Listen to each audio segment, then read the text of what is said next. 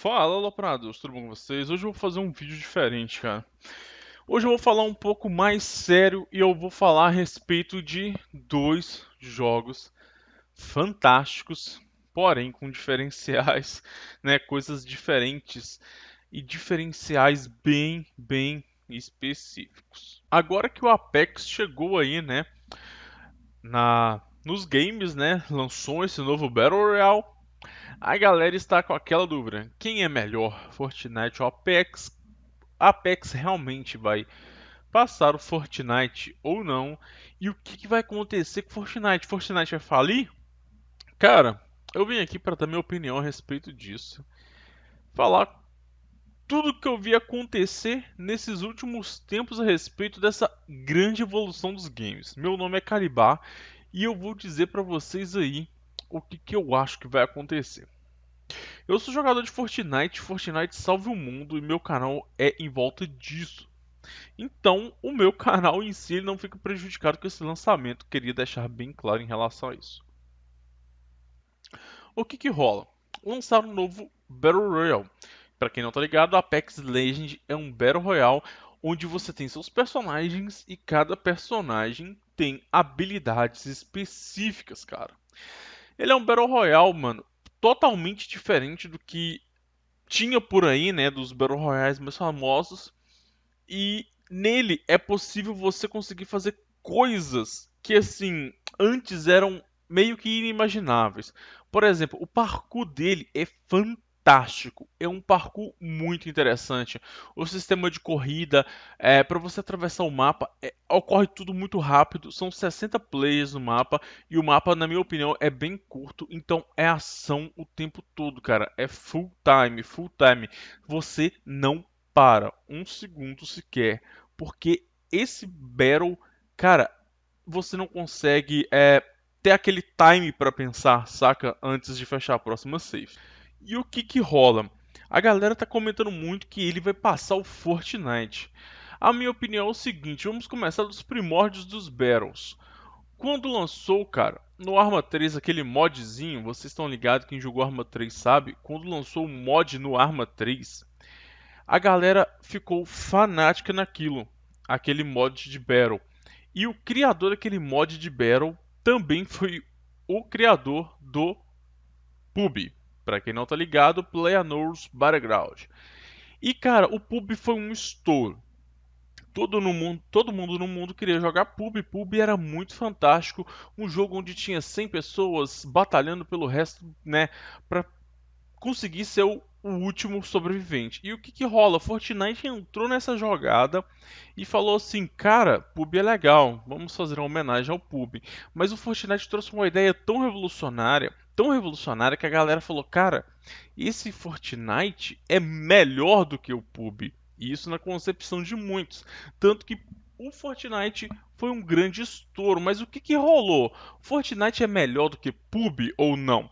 Cara, o Fortnite, ele, na minha opinião, ele é diferente do PUB. E o que, que fez a galera ganhar foi o seguinte: a gente estava no PUB durante um grande tempo e nesse tempo a gente enjoou de jogar pub entre aspas e queria algo novo. Então o Fortnite entrou, a galera agradou, estourou com pouco tempo e a galera ficou ali no Fortnite. O que é um jogo fantástico, na minha opinião, Fortnite é incrivelmente fantástico. Fortnite ficou no mercado aí durante um pouco mais de um ano, cara, e todo mundo só no Fortnite full time. Então, assim, é um jogo legal, mas você sabe que se você ficar em qualquer coisa durante esse período tão longo, é, o público em si vai acabar querendo algo novo. E o Fortnite conseguia trazer uma história, né? Trazer o cubo, trazer modificações no mapa, trazer novas armas, guardar novas armas. Mas com o tempo, mesmo assim, eu acho que a galera cansa e eles querem jogar algo novo. Eu não estou falando que o Fortnite é ruim, eu só estou falando que a galera queria ver algo novo. E surgiu o Apex, cara. O Apex, quando ele lançou, ele foi uma explosão muito grande. Tem exatamente sete dias, né, que o Apex lançou. E, cara, foi uma explosão fantástica. O Apex trouxe, cara, tudo aquilo é, aquela movimentação, por exemplo, o pub era bem lento a movimentação, você via poucos players, pouco fight. O, Apex, o Fortnite trouxe algo mais rápido, mais ligeiro, voar no mapa, encontros mais rápidos, build. E o Apex trouxe ainda uma coisa mais ligeira ainda, cara, porque você tem encontros mais é, ocasionais, você consegue ter encontros mais rápidos ali no mapa.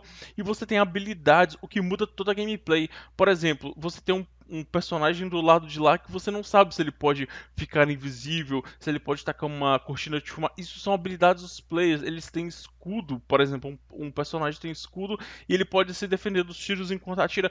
Isso tudo mudou muito a jogabilidade e, assim, na minha opinião, eu por exemplo, gostei muito dessa diversificação. Ele misturou um pouco do Battle com outra coisa, digamos assim, não tão voltada para o Battle. Ele colocou uma, uma pitada de outros games, digamos assim, o que tornou ele muito especial, na minha opinião. E como o jogo é novo, com certeza, e do empresa grande, claro, com certeza ele ficar muito, muito hypado.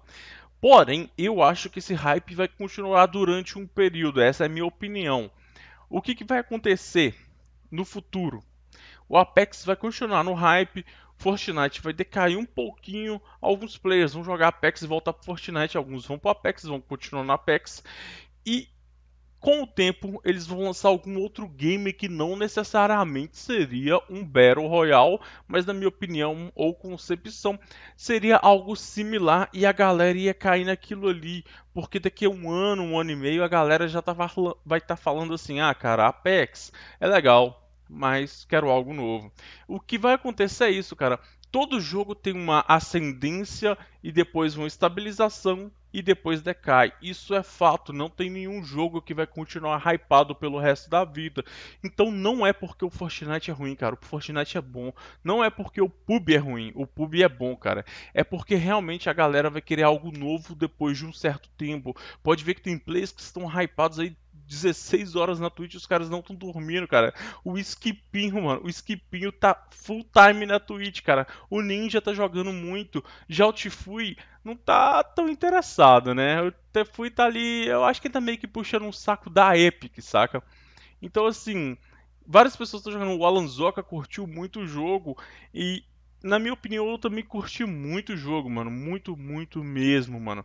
Então, assim, eu tô hypado demais. O... Esse jogo tem o, o que não tinha no Battle Royale pra mim, porque a construção ali, para muitos é um diferencial, mas para muitos é algo que a pessoa não consegue se adaptar. Eu particularmente fiquei treinando horas e horas para tentar adaptar construções e eu realmente eu não consegui. Olha, esse vídeo vai ficando por aqui. Essa é a minha opinião do Fortnite versus o Apex. A galera tá me perguntando se eu vou deixar de jogar Fortnite, cara. Eu acho que não, mas só o futuro nos dirá, né? Porque de fato esse Apex é muito, muito bom. Mas infelizmente a galera não tá curtindo ele muito no meu canal. E eu vou continuar trazendo conteúdo de Fortnite, eu quero testar as novas armas, novos sistemas e tudo mais. Porém, por enquanto eu realmente estou hypado no Apex. Por que, que eu não faço live? Porque meu processador não aguenta. Senão eu estaria fazendo live aí 14 horas por dia. E seria, na minha opinião, fantástico, mas eu ainda estou juntando dinheiro, né? E quem sabe aí daqui uns dois meses eu consiga comprar um processador que aguente fazer uma live. Eu queria agradecer a presença de todos vocês, queria agradecer a galera que me apoiou como criador no Fortnite, cara. É de suma importância, queria agradecer meu público que está me ajudando muito. A galera tá aí é, se inscrevendo no canal, cara. Eu tô quase chegando a 10k, o que na minha opinião é fantástico, né? É uma marca muito, né, glorificante para mim. Então, muito obrigado a todos vocês, valeu e até a próxima!